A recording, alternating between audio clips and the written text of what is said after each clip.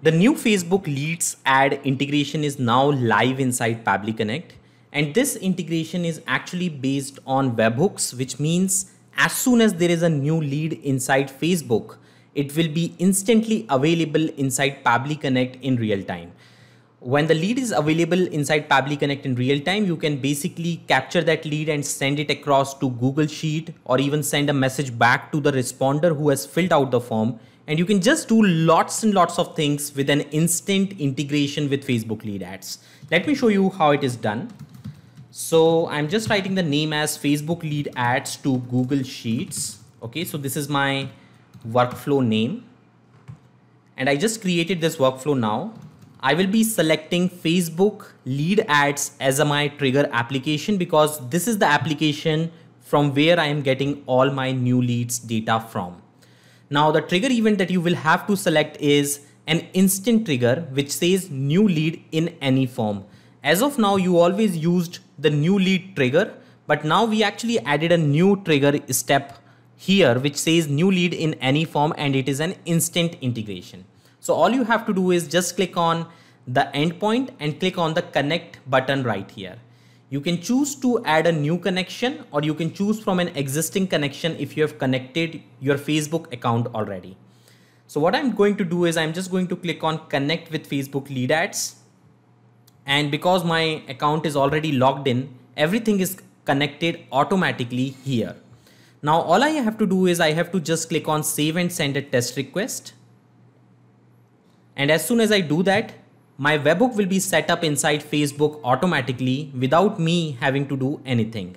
Now what you have to do is you just have to send one lead, one test lead data on this specific endpoint. So what I will do is I will just click this button right here and I will submit a test lead here.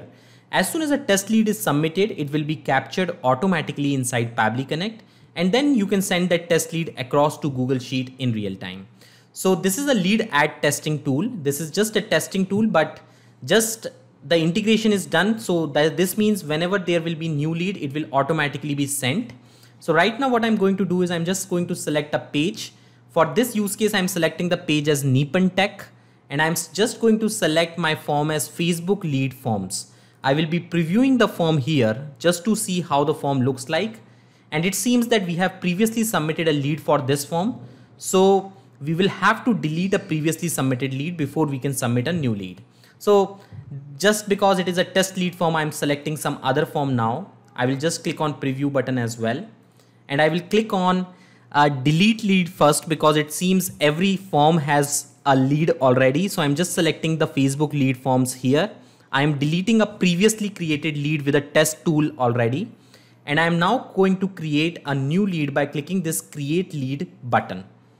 So you can see a test lead has been sent to create a new lead, please delete this one. So it means the lead has been sent. And if you go back to Pabbly Connect, Pabbly Connect will now capture that lead, which is just been sent by the Facebook lead forms. So if you can see, you can see lots of data right here and you can see the lead data which appears somewhere right here. So you just have to worry about the values. So this is the value of name and this is the email which the Facebook has sent. So all we have to do is we just have to map the email and in, in fact the full name is right here. So we just have to uh, map the full name and the email right here which has been sent to us by Facebook. So this is the lead data which we received instantly and any subsequent form data will automatically be received on this very same trigger step as well. There is one thing that you have to remember is this trigger is actually a generic trigger which will receive a lead data from just about every single form on your Facebook account.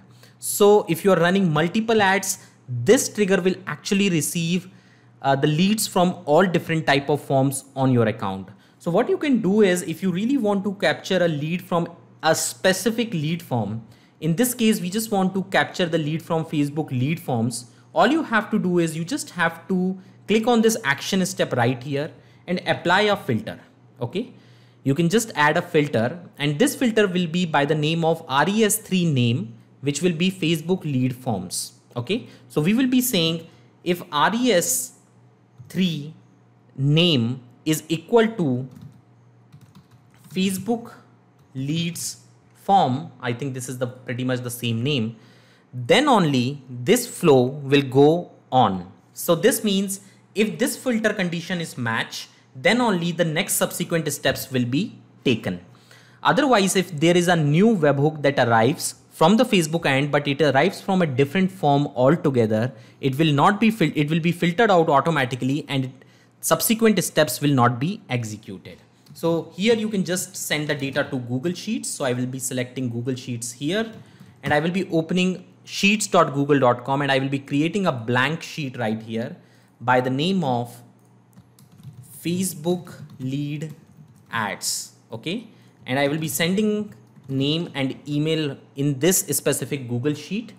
So I will be adding add new row. I will be connecting my Facebook account, in fact, Google account. I have already selected a previously connected account. So I will be just clicking on connect. It has automatically pulled in my Facebook lead ads Google sheet and you can see it automatically pulled out and fetched the name and email field as well. So I will just click on Facebook lead ad and I will be just mapping the last step which was the name and email which was again on RES5 email. So we have just mapped it. While mapping, just remember that you always have to pick the last value, which is RES5. Do not map it from RES4 or RES3. The reason being is Facebook sends the data in a convoluted form every single time. This RES5 step has been added inside Pabbly Connect to make sure that your data is pretty much great and it does not and it takes care of all the permutations and combinations with which uh, Facebook it's sending the data and it makes sure that your data is accurate all the time. So I'm just going to click on save and send a test request just to see if our data and our test lead is submitted here successfully and you can see the name and email has been submitted successfully. So it seems we have just integrated the instant Facebook lead ads with Google Sheet with the help of filter. I will be doing another test now just to see if everything is working fine or not. So what I'm going to do is I'm just going to delete this lead that we have previously created using the lead ad testing tool. And I'm just going to create a new lead all over again. So I'm just going to press the button create lead and this lead should also be added to Google Sheets. So you can see the lead is added. For example, let's say if I select a different form altogether and if I delete all the previous leads from this form, and if I send a lead again, it will not be created inside Google Sheet because the filter step will prevent any leads from going further if the Facebook lead form is not equal to Facebook leads form. So let me just create a lead and your test lead has been sent. It has been sent to workflow and you can see there is no new data inside Google Sheet. This means the data and the data is filtered and if you go back to history, you will see the filtered data right here so I will just refresh it now. And if you click on this is very step, you can see our Facebook lead ad form should match error condition is false. Why the condition is false? Because the form name is testing form one. So it basically failed it. It didn't take it any further and it stopped the workflow. So this means this ad testing is working fine. This workflow is working fine and you now have the power to basically send any new leads to Google Sheet automatically in real time. Thank you for watching this video.